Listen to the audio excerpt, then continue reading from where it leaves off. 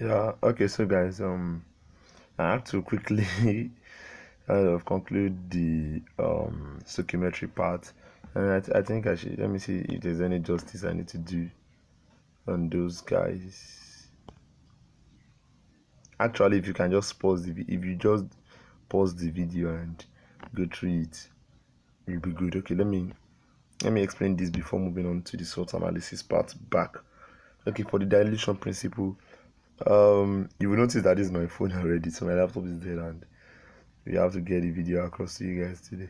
Okay so um one thing you need to note here is that okay we are diluting right? Yes. So c1 is the initial concentration c2 is the final concentration. So if you are adding water you expect the concentration to be lower and if you are removing water you expect the concentration to be higher.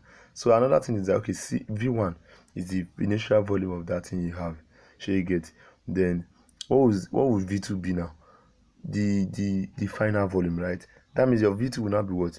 V1 plus v water. That's the water you added. And if you notice very well don't forget n equals to cv so the cv here is equal to mole. It's just telling us that mole before is equal to mole after. That's just the idea. So if you read it you're going to get it better. And then coming on to the next slide. Um, um, um, um and it's okay yeah when you are mixing the same guys together. Let's say for example i'm mixing um h2so4 and h2so4 but different concentration and volume. So this is the formula you use. C1v1 plus c2v2 equals to v1 plus v2 so c1v1 here is the first guy. C2v2 here is the second guy. It is not final volume and initial. No no no. C1v1 will be for 20 cm cube and 0.1 molar shake get while c2v2 will now be 80 cm cube and what? 0.2 molar. So that's the idea on that and then um i don't know. Okay moving on. So yeah it's simple. See what everyone represent okay. That's just the idea. I explained everything there actually. So well just to uh, for the specific gravity to that's the formula you need to use below. I'm coming. Oh i thought i would be able to annotate. So that's just the idea on that. So moving on now to our salt analysis so for salt analysis basically it is just a lot of theories that you need to just i don't know it's not the word cram but just take it and know you have to know everything. Sure you get? So then lots analysis the aspect of practical is practical basically that this the identification of pure substances. And what are pure substances? Compounds. And those compounds are salt here in this case. So moving on. So the useful apparatus yeah we need to know is you have the Kipp's apparatus, this for the intermittent production of gases. You have the fume cupboard for the production of poisonous gases like CO. You have the Liebig condenser for converting gases to liquids. We have the black amber bottle for storing nitrate salt. For we have the delivery tube for bubbling gases into liquid. Bubbling gas, let's say you have a reaction of gas and liquid now. Yeah, you can use your delivery tube to bubble the gas into the liquid. You have the desiccator for keeping salt dry, not to dry salt, for keeping them dry. You have the Hofmann's voltameter for splitting water into constituent ion or for knowing the volumetric composition of water. And this is what they also use in the electrolysis of water. You have the bomb calorimeter for determining the enthalpy of a reaction. So all these guys are very important. Intermittent production of gas in the sense that I need gas now, I want to produce it now, and I need it, I, I will get it now. That's intermittent. You just quickly just pour two things together and you get it it's going to give you the gas immediately then you have the fume cupboard it's just like something the they they kind of made in order not to make the gases produced to come to the atmosphere to your environment. Something that you can she get my point. So and for production of poisonous gases bead condenser you know what condensation is? Black amber bottle nitrate salt on if light if light get to them they start decomposing. So you have to store them into something that will that light will not get will not be able to pass through. And that's a black amber bottle. That's the idea for that. Okay moving on so for solubility test now so basically when salts are dissolved in water some are soluble while others are insoluble. That's one thing to note. So and all salts containing sodium potassium so if the the the the the, the following point i'm giving is going to just help you to know salt that are soluble and those that are not soluble. That's the idea. So also any salt that has sodium potassium and ammonium will be soluble even hydrogen ion h plus i think that's the third rule there so sodium potassium ammonium and hydrogen ion? If you see them in that compound it is soluble automatically. So any sort of nitrate no3 minus salt maybe calcium nitrate anything nitrate is also soluble. So those are the soluble guys like those guys i just mentioned they are soluble in all cases. But for some exceptions now all chloride salts are soluble except mesylego so mesylego means mercury chloride silver chloride lead chloride and gold chloride so but lead chloride is soluble when you eat it when it is hot it will be soluble. That when if you remember the solubility um video i said solubility of of solids increases with increase in temperature while for gases decreases with increase in temperature. Okay so mesylego mercury chloride silver chloride lead chloride and gold chloride. Please don't forget that. For that for chloride salt they are soluble except what mesylego then for sulfate salt except Bill, you know garrett Bill if you are playing ball so bale so that's barium sulfate and what? Lead sulfate. But calcium sulfate is not very soluble like that. Shall you get? So calcium sulfate when it's, it's, it forms a suspension. I believe you know what a suspension is now from the solubility video. If you've forgotten you can check that video now. Okay then. Um, all carbonate salts and phosphate salts are insoluble except if they contain sodium potassium ammonium. You get you get the gist. So moving on. ph test of salt now so what does it how do we know if the salt is acidic basic or neutral? Don't forget if the salt has hydrogen ion it is definitely acidic. If it has hydroxide ion in it it is definitely what hydro uh, basic. But if it does not if it is just like a normal salt how do we know if it is acidic basic or neutral? So the one you want you just need to know is you have to just note strong acids and strong bases. And for the strong acids now for the strong acids now we have um H2SO4, HCl, and HNO3. So these three guys are what they are strong in the sense that other there are also other strong guys who like in fact the strongest acid is HClO4. But you before they you can see salt does HCl like HClO3 of course is a salt, she get but um, it is not that common. They will ask you question, they won't ask you question on it, but they ask you, you can also include it here. So what you just need to know is okay. If you now do strong acid, there are also strong bases than this. In fact, the strong one of the strongest bases, NH4CH3, is a very strong base too. Or NHCH3, yes, NHCA3, NaCH3, and NH4CH3, they are strong. So let's that. Or if, if it's NH2 or something like that. So Strong acid plus strong base will give you a neutral salt. Strong acid plus weak base will give you an acidic salt. Weak acid for strong base will give you a basic salt. Weak acid for weak base can give you any of these three, depending on some stuff. But let's leave those weak guys alone. So that means we have HCl and NaOH. You're going to form NaCl, right? That's a strong what? A strong, a, a, a neutral salt rather. Shall you get? So let's say, for example, I give you potassium carbonate Potassium is coming from a strong base. Carbonate is coming from a weak acid. That's what the basic salt. So that's just the logic there. Moving on. So the composition of salt. So this one, the table explains it all.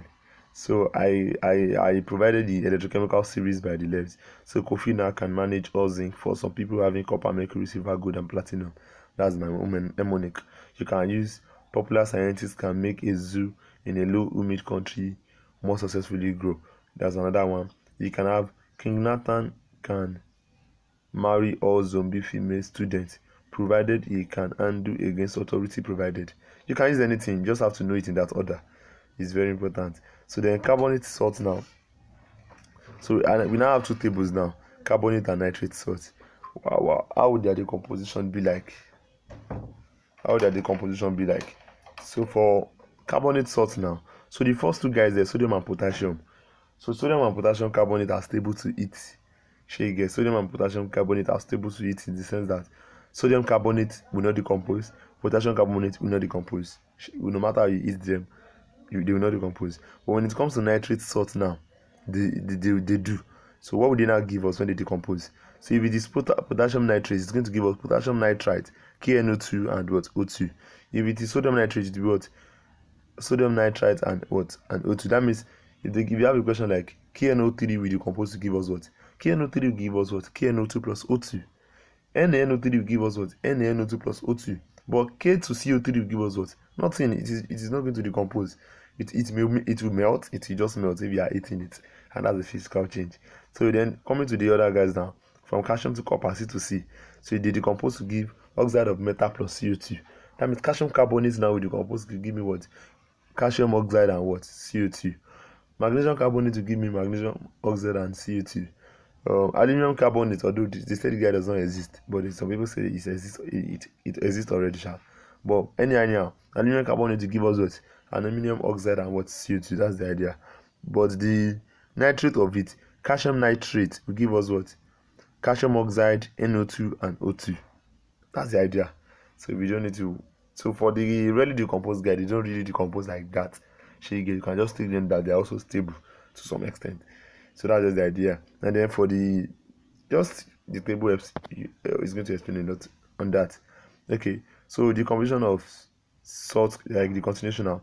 So sulfate and um, phosphate salt are relatively stable. Yes, notice that. So that's why K2SO4 will most likely not decompose. Even calcium sulfate will not decompose. They are kind of relatively what stable. So then the composition of ammonium salt. So this one is very very fun. It's just that just take the ammonium salt split it into ammonia and what? And the acid that's the idea. So NH4Cl will be ammonia and HCl in fact this one too is also ammonia and the acid but the acid will also now decompose. Look at the acid will be what? H2CO3 but if H2CO3 will decompose look at H plus there. It's going to give me what? Oxide of the metal although it's now hydrogen that's what? Oxide of hydrogen which is water and CO2 that's the same thing we have here. So water and CO2 there. So NH4SO3 NH NH4 to SO4 rather I'm sorry for that. It's SO4 it's going to if it's SO3 it's going to give me H2SO3 if it's SO4 it's going to give me what? H2SO4 I can't edit that now. I if it's on laptop I have edited I have, I have edited that actually. But let's move on.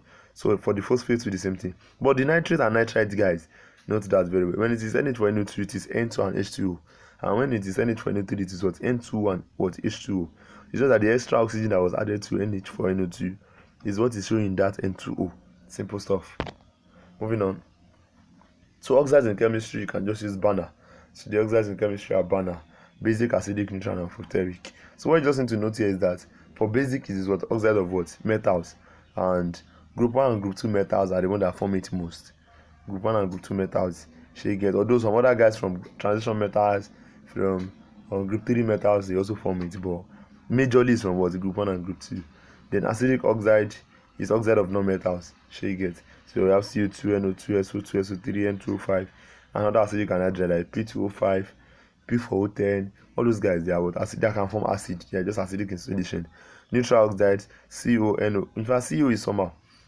Um, CO is is a very very poisonous gas, but it is neutral. So it's kind of sounding oxymoronic. Like it's something that is neutral is now poisonous. That's how we see ammo. So amphoteric oxides now, I use ZALT, Z-A-L-T, zinc oxide, aluminum oxide, lead oxide, and tin oxide. So when it comes to lead oxide, it's possible you see PbO and PbO2. Go for PbO2. But if the two are in the optional and there's another one that is not even here, I will advise you pick that one. Moving on. So this color, I have to just bring it out. They ask it a lot. CuO is black, ZNO is white when cold and yellow when hot. PbO is yellow when cold and reddish brown when hot. Note that, very important okay so gases in chemistry. So we are, we, let's just for this gases in chemistry it will take we are going to discuss 13 gases actually so you get. So those 13 gases are we are just going to look at the um, properties in them their confirmatory tests method of preparation uses and all, all those stuff so let's be you be very fast with it sha. So that the video will not get unnecessarily longer. Okay so moving on now. So carbon dioxide now co2 so it is colorless, odorless, but it is not tasteless. It has what a refreshing taste. That's why they use it in Coca-Cola and Biggie Cola, those guys. So that's the that's the idea. And it is acidic. The pH is acidic. So you get. So then the confirmatory test now. It turns like water milky. That's like no other gas gas does that. Now only CO2 they do them. It turns like water milky. Then the milkiness now disappear. In SSCO2, look at the reaction. You know, lime water is CaOH2 then it turns in milky uh, because that's kakotiri is white and then kakotiri in water is like chalk in water. So some people turns lime water chalky she get? So then if you now have more co2 instead of producing kakotiri it's going to produce calcium hydrogen carbonate 4 and that one is will it be soluble? Yes or no? It will be soluble because that's hydrogen. Although we know that carbonate water was insoluble, but because it has hydrogen, it will be soluble. But calcium carbonate itself, calco will be insoluble. That's why the milkiness is there. But after it dissolves, the milkiness will disappear. That's the idea. So how do we prepare it? So carbon and oxygen when they react together, decomposition of alcohol, fermentation of glucose, then the addition of ethylene acid. You can check Mark chapter 19, verse 7 or 6. So um you can check um Mark 222 self. Jesus also said that do not keep old wine in a uh, a new wine in old bottle. Why? Because the new wine is going to be producing CO2, then there will be pressure inside the bottle, then if the pressure is high, the bottle will break. So Jesus saves have chemistry. Moving on. So the uses now used in beverages because of the refreshing taste. Also using what fire extinguishers. It extinguishes fire. So carbon are the second one. It is colorless, odorless, and tasteless, but poisonous. Okay, there it is neutral. There is uh, the confirmatory test. It turns lime water milky. This is not like CO2, but before this guy can turn lime water milky, it must first burn with a pale blue flame. It must all burn in air. After burning in air, what will happen to it? It will be converted to CO2. Then the CO2 will now turn lime water milky. But the way we just identify is that okay, for this gas, can this gas turn lime water milky directly? No. But when this gas now react to it, when it burns in air with a pale blue flame, can it now do that? Yes, that means what CO. That's just the idea. So how do you prepare it? Coke with limited oxygen, then um and they, they use it in metallurgy. Metallurgy is in like extraction of metals because it has it is a very very good reducing agent. How? Because it can remove oxygen from anything to become CO2. That's the idea. So what water vapor now it is colorless, odorless, and tasteless. pH is neutral. Confirmatory test it turns anhydrous anhydrous copper sulfate from white to blue. White not blue to white, it is white to blue. That's why I put Wahab W to B. Then anhydrous cobalt from blue to pink. That's boiling point b to p Don't pink to blue. It is blue to pink boiling point just like boiling point b to p. That's the idea. The method of preparation the neutralization reaction produce what? Water vapor. Combustion of hydrogen will produce what? Water vapor. Even when you also react hydrogen and oxygen together you also form water. That's the idea hydrogen sulfide now is 2s it is colorless and it has a rotten x smell. I did not put the taste because basically does it like who, who will taste it? But it also it also have an unpleasant taste basically sha. So it is acidic yes. Then confirmatory it decolonizes the purple color of KMNO4 with the deposition of yellow sulfur. That means going to add hydrogen to KMNO4 addition of hydrogen is reduction. So get that reduction will now change the color from purple to colorless but the remaining sulfur that is in it you see it there that's the idea here. It is giving us yellow sulfur there is one that will not give us yellow sulfur. That's the way to differentiate it. Then it changes the color of K2Cr2O7 from orange to green not green to orange. Chicken is orange to green og not green to orange not go. That's why i say don't form go form og okay so chlorine gas now.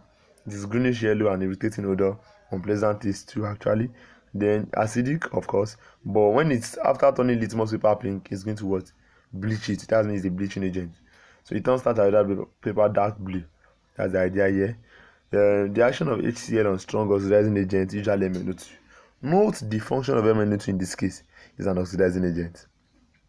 Okay, then. So HCl plus MnO2 will give us what? Um, your MnCl2, and then it's going to give us what we also need chlorine gas, CO2, and also water. Okay, so it's a bleaching agent and it bleaches by oxidation. Chlorine bleaches by oxidation, then it is for plant fibers like cotton. C for C, cotton, you get? While the other guy that we're also going to discuss you see that? So he's also using purification of water as disinfectant. She get? You can chlorinate water. Chlorination is one of the process. So moving on. Sulfur four oxide now. So it is it has a pungent it is correlated with what colorless pungent smell like that of burning matches because it's actually present in matches and when you light your matches the sulfur in it will burn and that's the odor you are perceiving Okay, confirmatory test. It decolorize the purple color of KMNO4. This one does not deposit yellow sulfur. How does it decolorize it? It takes oxygen from it, from them. That's the idea. Then preparation, the action of HCl on Na2SO3. Then use this is a bleaching agent and it bleaches by reduction. For animal fiber, silk S for S, SO2 for silk, CO2 for cotton. Moving on, hydrogen gas, colorless, odorless, and tasteless. It is neutral. Don't be deceived because hydrogen is having H, it will be acidic. No, it is neutral. She get there. It does not release any hydrogen at all in reaction. So confirmatory test, it gives a pop sound when reacting with oxygen. Pop, that's the sound. So preparation, the action of HCl on zinc, reaction of reactive metals on H2O because they will displace it. So potassium, if potassium reacts with H2, you're going to have potassium oxide and hydrogen gas. That's the idea. So nitrogen gas now is an inert gas. So it is colorless, odorless, and tasteless. It is neutral. It does not have any confirmatory test because it does not even react. So if it did not react, it will not have any confirmatory test. So prepared by the decomposition of NH, NH4NO2. Now the decomposition reaction is highly exothermic, hence we use another part. So you don't apply it to NH4NO2 directly. Why? Because it's going to cause a lot of is exothermic. So what you just do you produce the guy and then the heat that you generate from the production is going to decompose it. That's the idea. So the same thing actually applies to the preparation of this guy, but it is colorless and faint sweet smell. In fact, this is what they call the laughing gas. You burst into laughter when you just um, perceive it small. You start laughing. So they use it in anesthesia, anesthetic condition, like when they need to make sure that their patient is not feeling pain, all those stuff. You can use what N2O. So confirmatory test is to increase a glowing splint like oxygen too. Oxygen also does that. So preparation by decomposition of for NO3. The same thing happens here. Shall you get? Oh, I didn't I didn't update this. I just copied the equation from the previous slide. So it is KNO3, not KNO2, and it is NH4NO3, not NH4NO2. Okay, moving on. So oxygen gas it is colorless, odorless, and tasteless. Neutral. Okay. It requires a glowing splint too. But for between NO, N2O and O2, how do you differentiate? You can differentiate by with a lot of reactions. You get? So for example now, if they both react with copper, uh, N2O will form extra nitrogen, oxygen will not form any nitrogen. That's the idea. If they both react with anything they are reacting with, you will be able to differentiate them actually. So preparation now, prepare by the decomposition of KCl3 in the presence of MnO2 catalyst, MnO2 again. MnO2 as oxidizing agent in chlorine production as catalyst in oxygen production. In fact, it acts as something. A quick bonus here. See, once you are done before before six o'clock, tell me the function of MnO2 in a particular primary cell and also state that primary cell. Okay, moving on. I said you compare N2 actually. So the nitrogen 2 oxide, it is colorless, neutral, and then um i did not mention the odor and the taste because if you want to perceive it if the guy just come to the atmosphere to react with oxygen from NO2 that means anything you are you be perceiving is for NO2 not for what? NO this is no. NO so preparation by the action of copper with dilute or cold HNO3 so I also need you guys to also do something show the reaction of copper with hot and concentrated HNO3 before 6 o'clock today so ammonia gas now, it is colorless with choking smell. Yes, gas think that's present in your urine. Then the, it is the only common alkaline gas known, and the other one is phosphine is not common.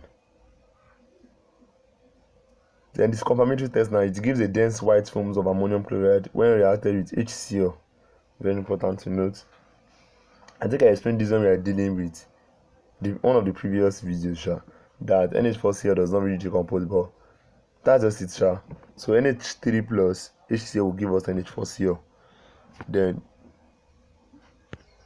the reaction of nh4cl with CaOH2 that's the way to prepare it actually. So nitrogen four oxide um reddish brown with irritating odor. Then it is acidic yes it forms in fact it's a mixed acid anhydride it forms two acids the HNO2 and HNO3 when it dissolves in water. So it turns such a paper blue black then it is very by the composition of lead nitrate. Don't forget in our decomposition table now we have a different way for the producing NO2 but the one that is best is lead nitrate because it does not form what? Crystals. Yeah good. We are done with the gases. Coming to flame test. Flame test is more than this so I will, I will advise you to just go online and check um, search for others but the most common ones is potassium and it is what purple p for p. Sodium is what is a golden yellow color. Calcium is brick red while lithium is red. Note that. Then copper is bleach green while lead is blue. There are others but then the reagent they use most is what hcl very important to note. So test for cations. Very very simple actually just get that for cations they are the positive ions and we use two reagents NaOH and NH3 so let's take NaOH first. So the cations we are going to be dealing with are these guys.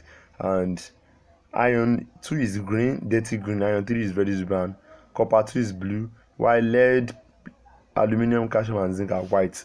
So the idea is um look at that first example the ones in bracket are soluble the ones not in bracket are insoluble. In excess shall get. So how do we test? When you add NaOH to the salt in drop when you drop it you're going to see the color. Then when you now add it in the excess you now see if it dissolves or not. So that's what we are doing. While for ammonia the same thing? Except that calcium is not here. Calcium does not react. Then it is only copper and zinc that is soluble. Lead and aluminum they are not what? Soluble.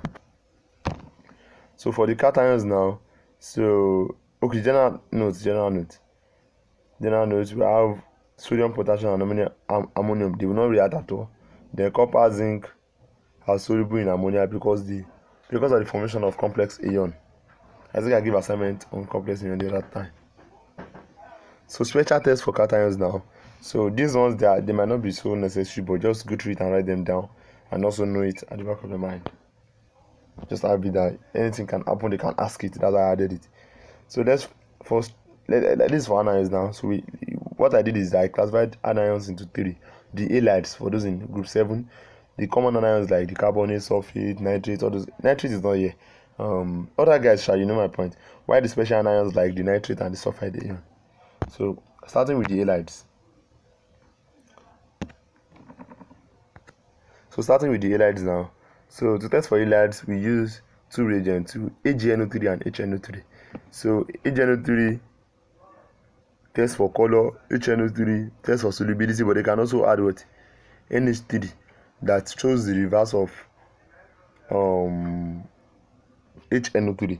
So if AgNO3 is for solubility, is for the color. So when you add AgNO3 to the solution, you see the color. So you get. So basically, I think um for these anions now for the halides for the halides. So among the halides chlorine chloride ion is white and insoluble in HNO3 while bromine and iodine are yellow and soluble. So white and insoluble for chlorine then yellow and soluble for what? For the other uh, for the for bromine and iodine. So moving on. If the reaction is reversed as in you add HNO3 before HNO3 it's only chlorine that will show reaction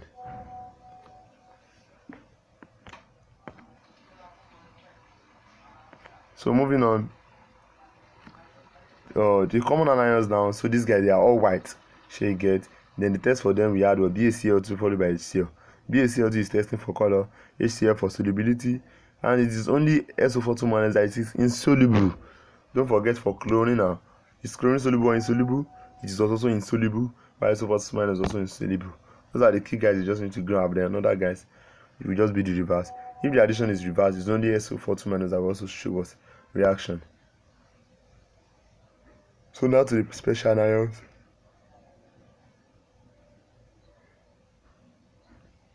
Any uh, the nitrate ion and the sulfide ion.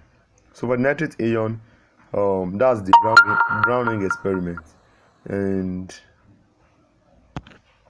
so the brown ring experiment basically is used to detect the presence of nitrate ion. So freshly prepared FeSO4 followed by concave SO4 is added a brown ring is formed owing to the formation of FeSO4.NO. It can ask you what's the component of the brown ring. It was FeSO4.NO. Then for the sulfide ion, it's just like H2S. You know what it does already with the deposition of what yellow sulfur. So, so the last part of the what of the class now, types of reaction, and you know what the reaction is already reactant giving product, but we have different types. So the first one we have here is what the combination reaction, just like the name sounds, is reacting with B to give me what? AB. That's the idea. So x plus y to give me xy two Na plus Cl2 my two Cl2 to give me what? Two NaCl simple stuff combination. Then the second one the composition reaction. So we have the it is the opposite of combination if for combination two things are coming together to form one. For decomposition one thing is given two. And that's the example there. Then the next one precipitation reaction. This one is very very important. So two solutions of soluble salt are mixed resulting in an insoluble solid precipitate formed. How do we know it's precipitate is even forming? That's because the two reactants are soluble. Why the one we are now forming is not soluble that means it, we can see the way it is coming out. It is precipitating out. So a chemical reaction that involves the formation of a insoluble product is called a precipitation reaction the reactants are soluble but the product formed would be insoluble and separate out as a solid. Very important. The chemical equation by which a chemical change is described is adequate for reaction in solution, but for reactions of chemical compounds in ad in aqueous solution, water, the typical molecular equation has been representations. Okay, moving on. So the molecular equation may indicate formulas and reactants. The product and product that are not present in and eliminate completely the formulas of the ions that are the real reactant and product. They are just telling us how a reaction will be. If the substance in the molecular equation that is actually present as isolated ions are written in the form of their ions, the result will be an ionic equation. Very important. So neutralization reaction, I don't need to emphasize on this acid base. It's just like I'm neutralizing an acid by with a base or neutralizing a base with an acid to form a neutral substance. That's neutralization. So acidic bases give me neutral. That's the idea. Types of chemical reactions again, we have combustion. Combustion basically just means a substance burning in air. A substance burning in air. And if you are burning in air means you are combining with oxygen in air. She get and the product will now depend on what on what you are what's actually burning. If it's, a, if it's an hydrocarbon, you are going to see CO2 and water coming out, or organic compounds. So displacement reaction now, something is displacing something. That's the idea. So, for example, in a displacement reaction, we have x plus yz is giving xz plus y. Note that, please. So, uh, it's also called a substitution reaction. Yes, a displacement reaction is also called this because we are substituting what um, atoms. Why I think this is the last slide. So the composition double displacement reaction is just like okay, you have A plus B give me C plus D. So you now later have A plus D, B plus C. Is what double decomposition. Um double double displacement rather than double displacement reaction in the sense that they shuffle themselves. That's the idea. So that's that on that and we are done with the class. If you have any question, don't hesitate to ask on the group tonight. So let's take care.